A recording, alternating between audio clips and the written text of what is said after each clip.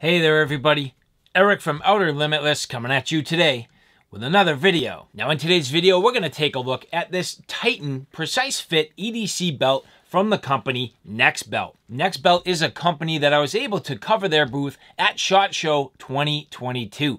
They did an absolutely fantastic job in their presentation. I got to talking with their representatives and thought it would be a great opportunity to actually take a look at one of their products in close-up detail. So again here, this is the Titan EDC belt. This has their precise fit ratcheting technology. It's similar to other ratcheting belts that you've seen probably in the past, but with a little bit of a difference, and we're gonna get into all of that. So what we're gonna do when we come back, I'm gonna get this out, we're gonna take a look at it in detail, get this fit so that I can put it into good use. But with that said, I have a whole bunch to do and a whole bunch to share with you.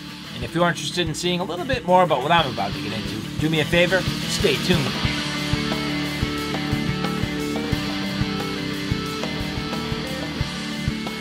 Now, before we get too far, I would like to say thank you very much to the people at Nexbelt who did provide this for review. Now, ratcheting belt technology, it's certainly not proprietary to Nexbelt, but they've kind of tried to take it to the next level in a number of different ways.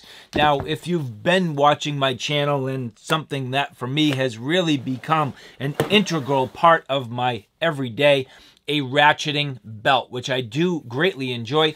This one here happens to be some of the competition to Nexbelt. This is Core Essentials, who's really at this point given me a great understanding of how awesome a ratcheting belt can be. So we're going to compare this just a little bit wrap in some competition here so you can see what Nexbelt is doing next to one of their probably biggest competitors, Core Essentials. But I can tell you, Nexbelt doing a fantastic job, just beautiful, beautiful belts. So with that, we're going to flip the camera around and let's get into this Titan in detail. And so the first thing that caught my attention when this was sent to me, the presentation is just beautiful, literally right out of the box. This nice little bag, just very nicely done. Their logo, that's cool. You can see how it's sort of fabricated in that shield with a couple sort of handguns. It just has that real cool look, that real neat feel to it. I like good quality presentation. I've said it on my channel a number of times. I don't always care about packaging. But when the packaging looks good and they're paying attention to the details on the packaging, you know they're paying attention to the details on the actual product inside. And that's what we're going to get here. So we're going to pull out this Nexbelt, Titan Precise Fit EDC belt. And well, the presentation continues. As you see here, just so nicely done. Here, the belt protected, that buckle just protected.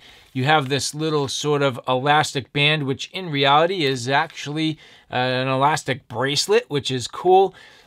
Little details inside. Just the presentation alone catches your attention. It shows that they are paying attention and that they really care about the look and the feel and the quality of their product. So right away, I am definitely impressed. But as we continue to move forward here, just getting this unraveled, some things to consider.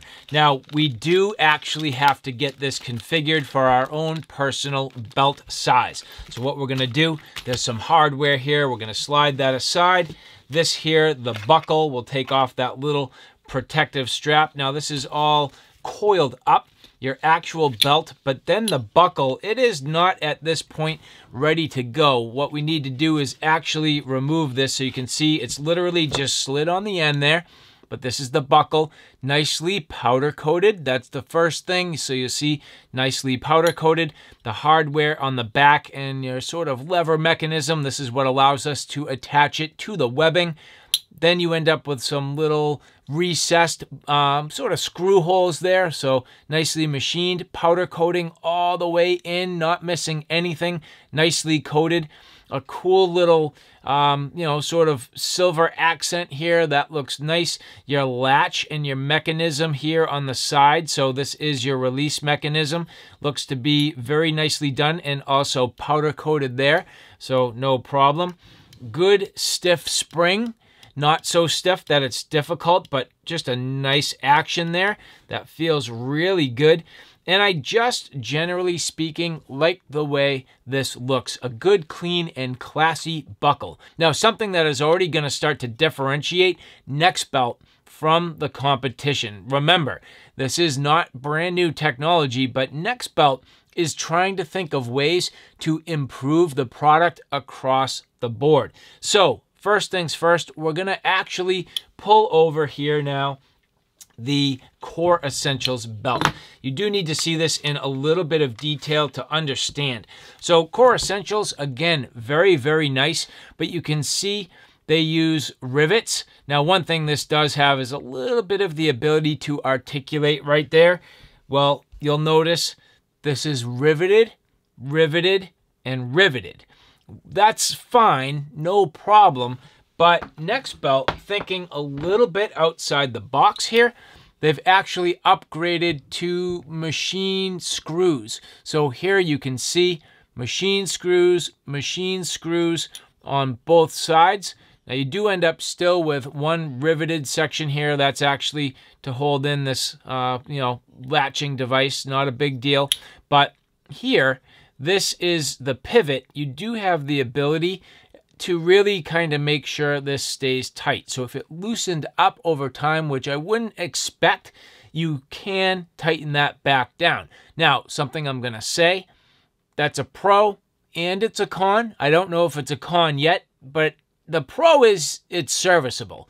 The con would be if these back out. So I am going to pay attention to that over time, make sure these don't back out, and they may need just a little bit of Loctite if they didn't come with them. I have no idea. I don't have any experience, but we're certainly going to find out as we wear this over time. As we get into the belt itself, this is gray. So again, this is the Titan Precise Fit belt but this is in gray. Very nice, just beautiful. And one thing as I flip this over, well, we're going to look at this. You can see it is graduated. So this is your sizing. We're going to have to pay attention to this. And as we go all the way down here, well, you can see this can technically go from 25 inch waist all the way up to a 49 inch waist. So this belt is way longer than it needs to be. But what that means is we need to follow some instructions and cut this down to size. Now real quick, back to the core essentials. As you take a look inside here, the key feature being that ratchet technology. This is quarter inch adjustments. So every four clicks uh, within the inch, you kind of get that adjustability. Most standard belts, you really only get adjustability on the inch. Never mind this, where you get the quarter inch adjustment, which is fantastic. But pay attention to the fact that the track here is gray. Now, gray is the color you'll generally see on Core Essentials belts. They do have their own molded tracks, but on a number of other brands' ratcheted belts, you will see black. In some cases, black is an indication that it may be an outsourced ratchet strap, but in the case of Nexbelt, as we look at this here, they intentionally go with red. Well, why is it red? It's red on the inside because they have their own ratchet track. This is made from their own molds. It's their own process. And the plastic is maybe a little bit of a different composition from their competition. So whether or not it's better, I personally can't say. I mean, it's really one of those time will tell type of things. Of course, Nexbelt is going to tell you that it's superior. I can't verify that myself, but I will definitely know over time if either one of these have problems, you know, between the Nexbelt or the core essentials or if I just get some impressions. But generally speaking, the red looking good. I like it. It has a nice pop against the gray. This gray, very nice. I love the ribbing. It's just a good look. Looks like your typical nylon webbing belt, but of course, being a gun belt, it's going to be stiffer, so a nice stiff core on the inside here holds it very firm. This is going to be fantastic for everyday wear or for the gun range.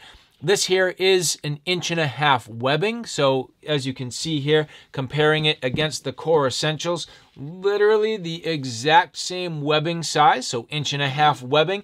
And Nexbelt does offer a number of different styles. So whether it's nylon, whether it's leather, ton of different styles, things that are sort of more subdued and less tactical looking, things that are very classy. They actually started business with golf belts, and they do have some that have built in like divot repair tools right into the buckle. So very cool.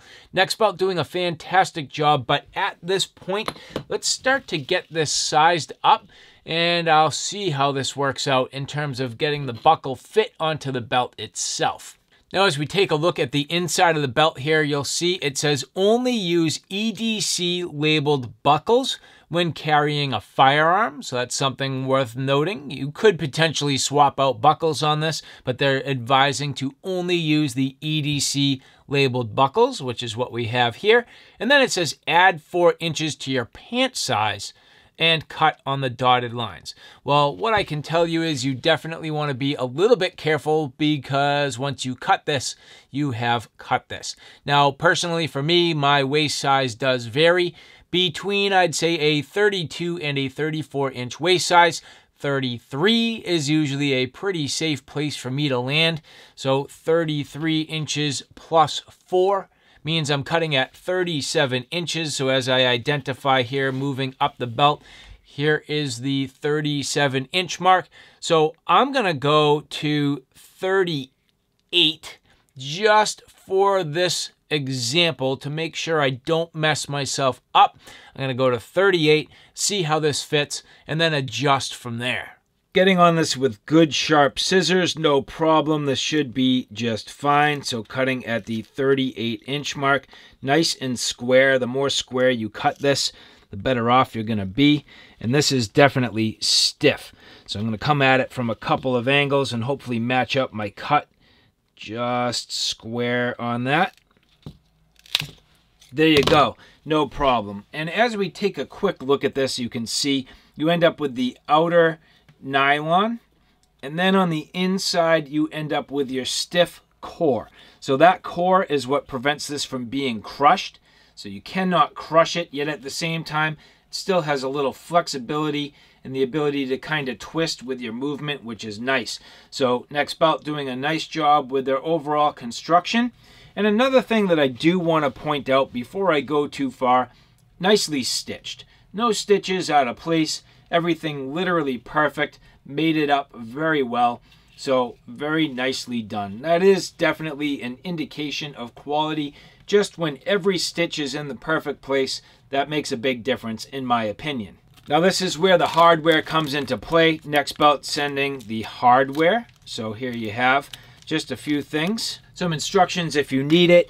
And then a couple of screws you end up with this Allen key here, so the hex key, and they actually do send a little bit extra, so two that you need and then an extra, and what I like to see, that's awesome, subtle, but makes a difference, some blue Loctite. So check that out. Thinking ahead and pre-coating these in Loctite, I like the attention to detail. Not a required step, but for me, I am going to burnish the ends here, just get rid of some of the sort of excess melt that down, which I think is going to help in the overall like long term.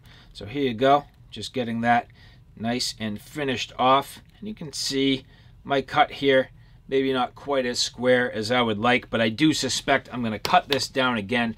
So we're just going to roll with it for now. Getting this buckle and sliding it in here, you can see that's a fat sort of tight fit there no problem. It will go in, but that was definitely tight, and that's not a bad thing.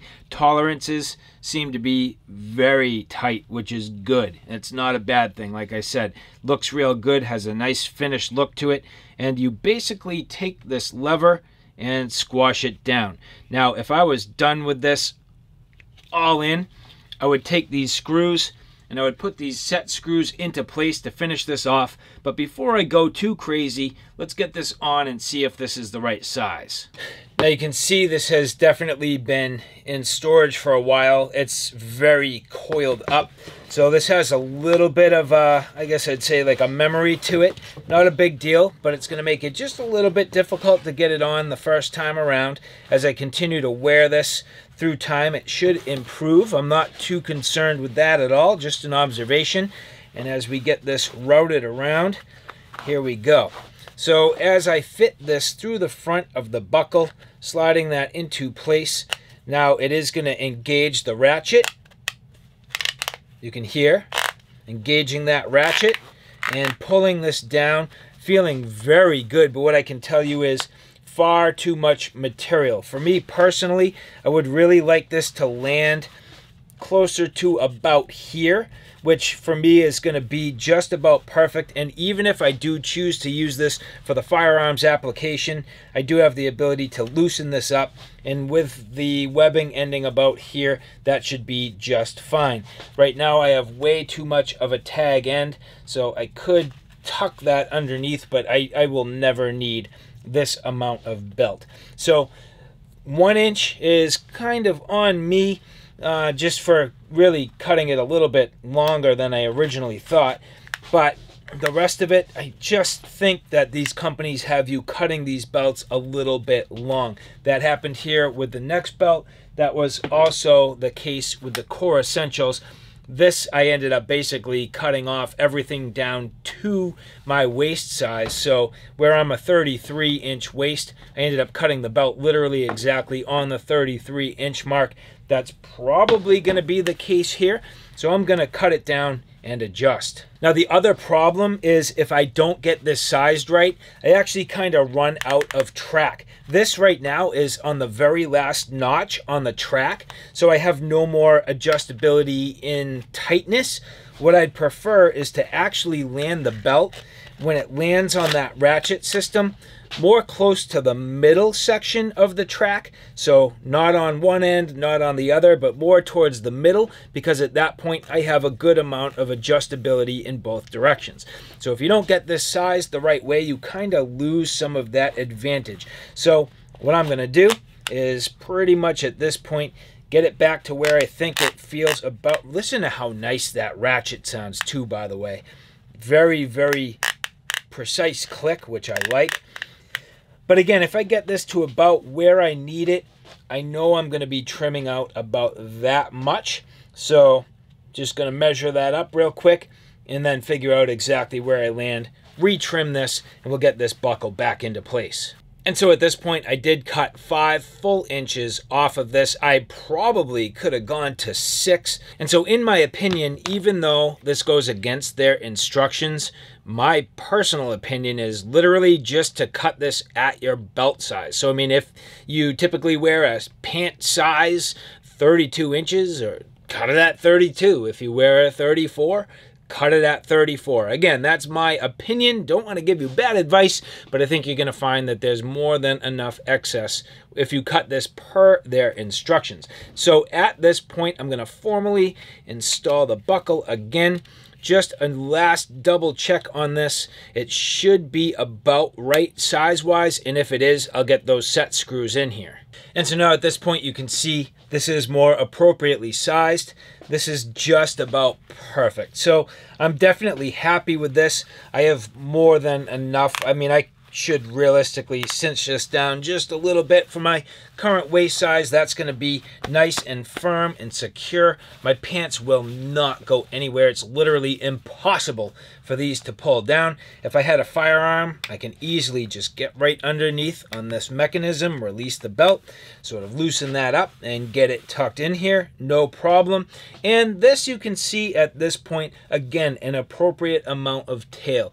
Not a big deal, that's just gonna be pretty much about perfect and this is definitely looking good. So at this point, I'm in pretty good shape. Now in terms of concealed carry, I definitely can get my holster in here, no problem. Again, inch and a half webbing, that's gonna be just fine. And my clip fitting over there perfectly. At this point, getting my firearm and installed into the holster, that works out very well. Nice and easy, the ability for me to get on the firearm, no problem.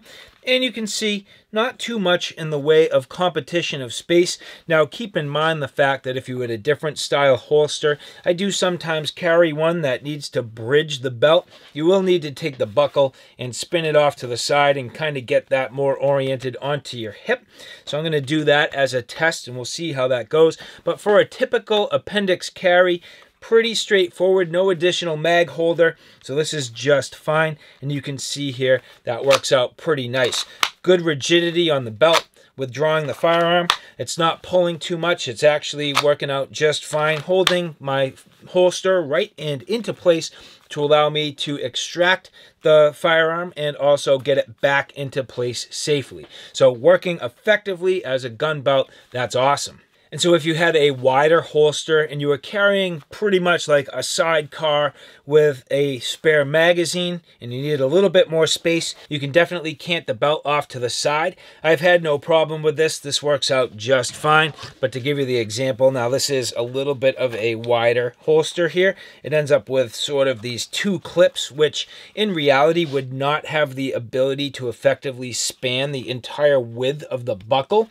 So here you can see getting that on the front. Now, again, similar, where this fits just fine. Now, this is actually not set up with the weapon light, and my holster does require the weapon light for appropriate retention, but at the same time, you can see that goes down and into place, and as this sits here, the ability to get on that. Again, not a perfect setup.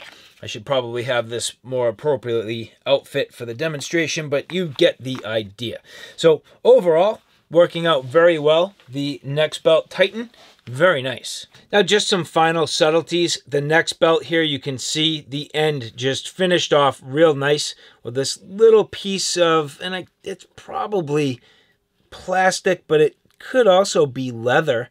I can't tell. That might actually be a nice thick piece of leather there on the end and then sort of beveling this down to help you getting it installed into the buckle, but also it just looks good, nicely stitched, very well done just a little bit of a nicer finish touch than on the core essentials. It's subtle, but the little things do matter. And the only other thing worth noting, the difference between the two of these, I do find the core essentials latch mechanism a little easier to get on while you're wearing it. As you look here, the actual mechanism on the Nexbelt, it's very nice, and don't get me wrong, and it's also very low profile and sort of snag proof, but it doesn't extrude. So it's a little bit more difficult to find it and then get your finger on there and push it back. It's just going to take a little bit more practice, but again, just seeing the difference on the core essentials, it very much does just extrude off the end of the buckle there, so very easy easy to get on. And then again, versus the Nexbelt, which is just a little more flush to the buckle itself. It's a subtlety, not a big deal. It's just something to note and to get used to. And so the final step for me is now that I am confident in the fit, I do need to get these set screws into place. So as you can see here, these set screws are going to go right in here. Again, this does come with the hardware and the tool that you need. Now, if this is anything like on the core essentials, I do need to be careful. You can potentially strip these a little bit. You need to bear down, push down, and drive this down and into the nylon. You can do it. It just takes a little bit of effort, so I'm going to do that off camera, and that will be set into place. And as you can see here, no problem. Very flush, very easy and no problem at all. And just to point out the last thing, remember what we said Nexbelt advising if it's not marked EDC, not to use these for firearms. And you can see there that EDC stamp. So there we go. Nexbelt, the Titan Precise Fit. Awesome. I love it. And so there you have it, a look at the Nexbelt, Titan Precise Fit EDC belt. Again, I'd like to say thank you very much to the people at Nexbelt for providing this for review. Very nice. I do greatly like it. A lot of attention to detail. You can tell these guys really do care. So all the way from the very beginning, just that awesome presentation through the details in the belt, their attempt and hopefully success in engineering this to a higher standard over the competition. Now, again, that's going to only prove itself over time. I do think there are some things about this that I do prefer over, say, for example, the core essentials and a couple of things, maybe not so much. I do kind of like the mechanism on the core essentials a little bit better.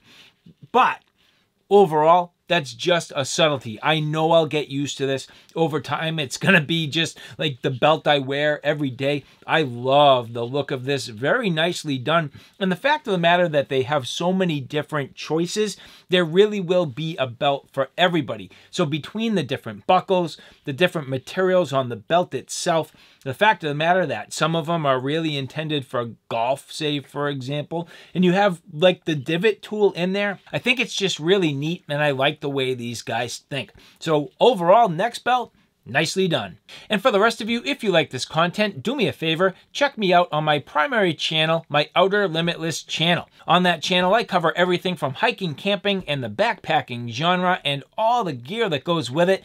So from your outerwear and belts like this, EDC gear, knives, axes, flashlights, you name it, that's my Outer Limitless YouTube channel. So alright guys, thanks for stopping by. I hope you like what you saw. I hope you found it a little bit informative. If you like what you saw, please like, share, and subscribe. And as always, thanks for stopping by. Take care now. I'll see you soon.